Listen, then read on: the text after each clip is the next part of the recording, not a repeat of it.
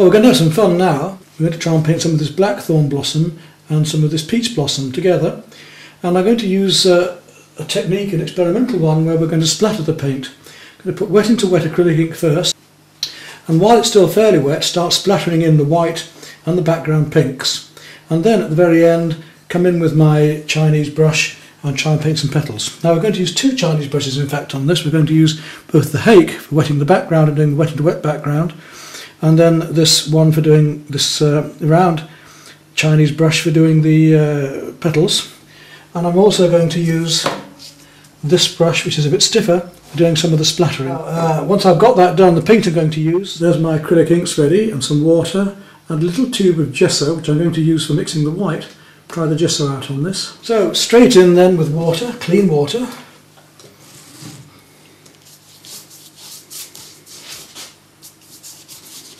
All the way across it. Plenty of water there because I do want some lovely wet into wet effects. And again, we're going to drop in the light colours first, even so, because there are some nice little celandines at the bottom of this picture.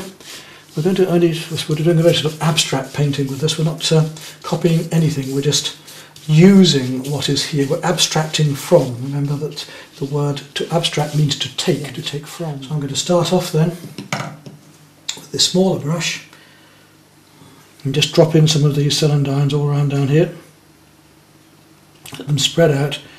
I'll give that to my hake and we'll start putting in the uh, light greens around them that are catching the sunlight here. We're using quite strong, vibrant but uh, dark colours so that the white paint that I'm going to splatter on later will show up. Deep green to here.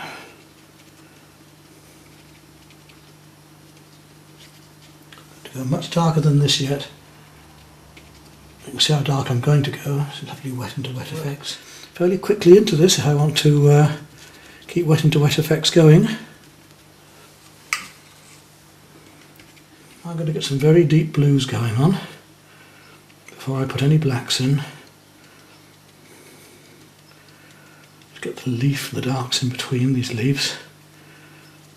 Yes, just, I'm twisting the brush get these dark effects of shadows between leaves down here.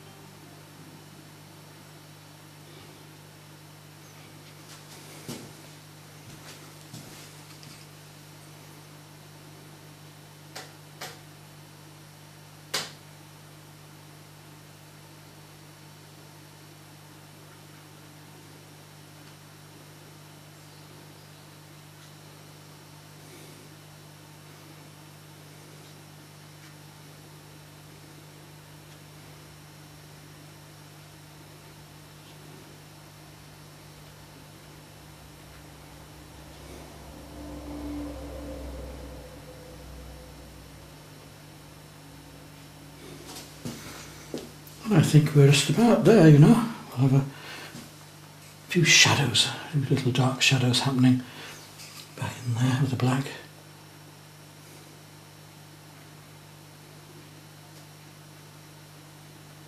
Just to make it stand out a little more amongst these flowers.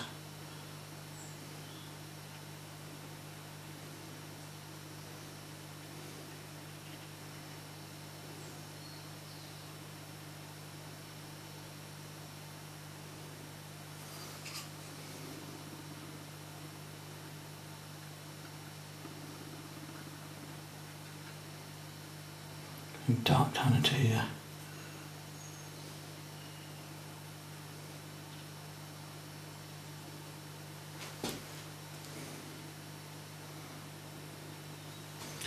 There we are, that'll do us. Little abstract flower painting using the splash technique.